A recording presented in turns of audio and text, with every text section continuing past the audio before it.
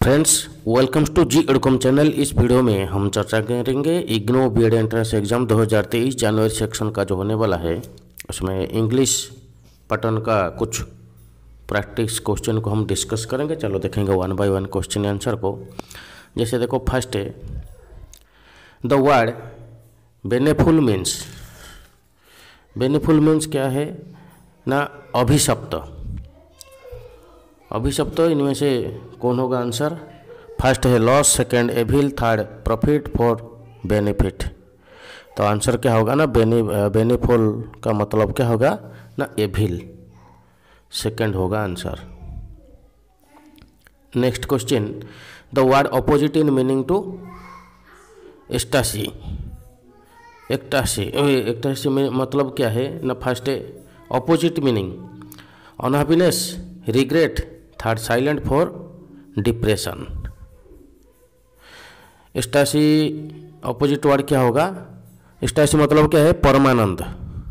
Opposite क्या होगा?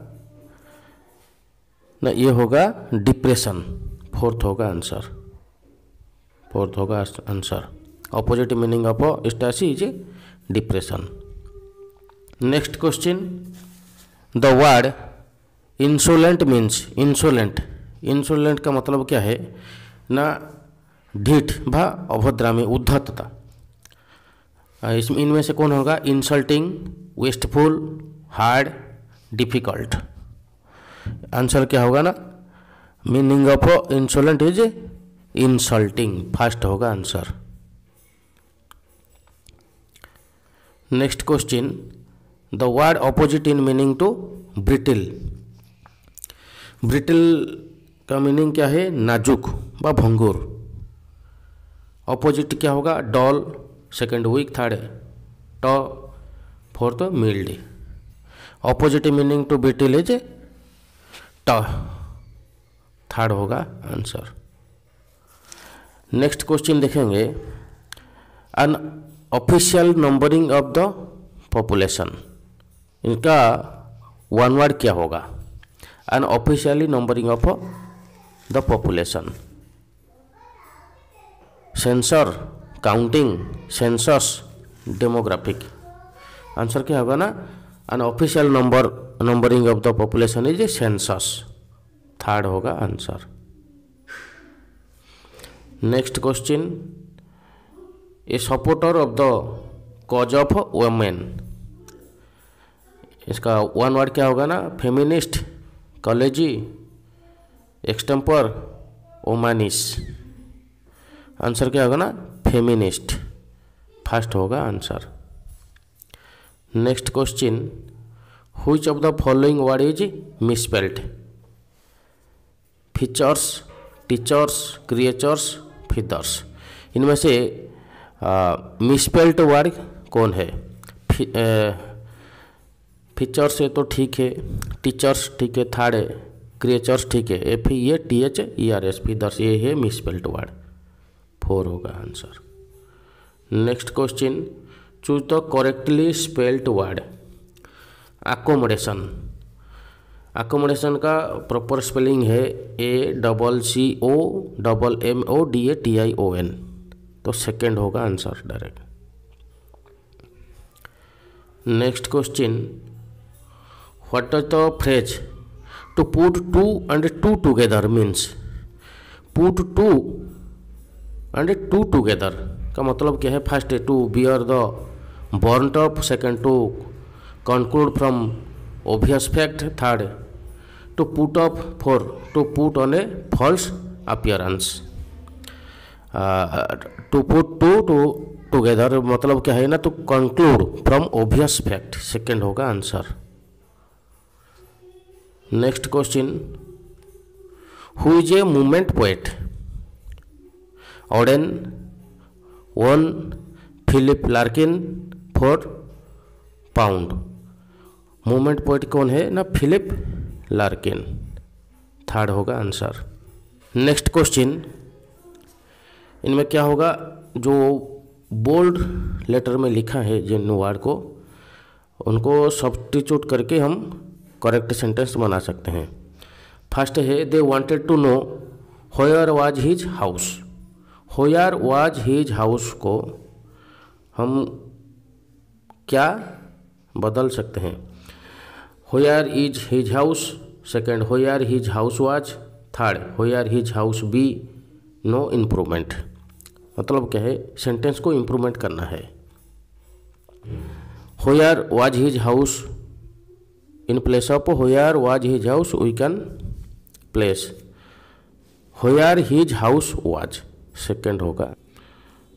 Second होगा answer next question his mother asked him when will have will he have his lunch will he have in place of will he have we can place first have second would he has third he would have four no improvement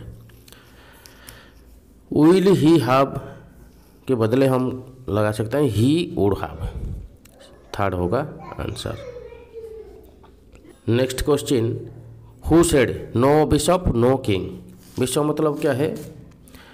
ना धर्म जाजक धर्म जाजक नहीं थे कि राजा भी नहीं। धर्मयाजक नहीं, राजा नहीं। कौन बोले थे? James first, Charles first, Puritans, Elizabethans. Who said ये जेम्स फ़र्स्ट बोले थे। फ़र्स्ट होगा answer. Next question. The crew dash taken prisoners. First was second has been third were, fourth is answer क्या होगा ना? The crew were taken prisoners third होगा answer next question देखेंगे। इस बीच एक बात बोलना चाहूँगा। अगर वीडियो पसंद आ रहा है तो लाइक करना चैनल को अवश्य सब्सक्राइब करना, ताकि आने वाले समय पर जब मैं इस रिलेटेड वीडियो अपलोड करूँगा तो आपको नोटिफिकेशन मिल जाएगा। ठीक है, देखेंगे next question if Mahatma Gandhi dash alive he would start weeping to see the present condition of India if Mahatma Gandhi dash first होगा was second is third were fourth are answer क्या होगा ना? If Mahatma Gandhi were alive third होगा answer next question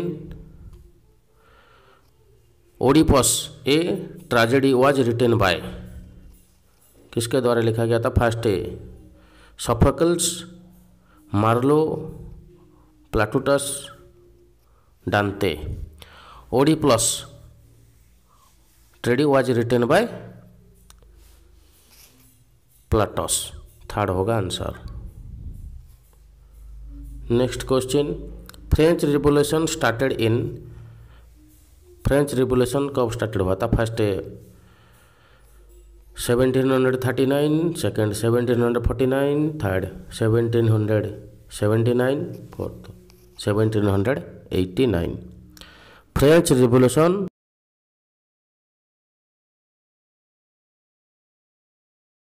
next question the indirect speech of he said what a beautiful scene is ये जो exclamatory sentence है what a beautiful scene is का indirect speech क्या होगा ना? First है he said that what a beautiful scene it was second he wondered that it was a beautiful scene third he exclaimed that a beautiful scene it was fourth number he exclaimed that it was a beautiful scene he said what a beautiful scene is मतलब इसका indirect speech हुआ क्या? Fourth number he exclaimed that it was a very beautiful scene Next question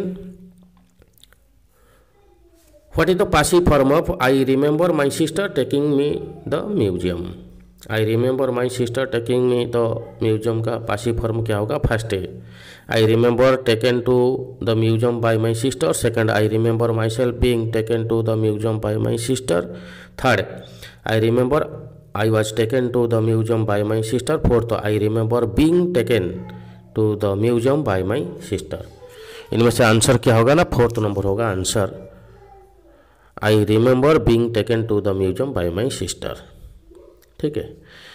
Next question the birth place of Renaissance was Renaissance was born in first Italy second France third Germany fourth England Renaissance was born in Italy first होगा answer.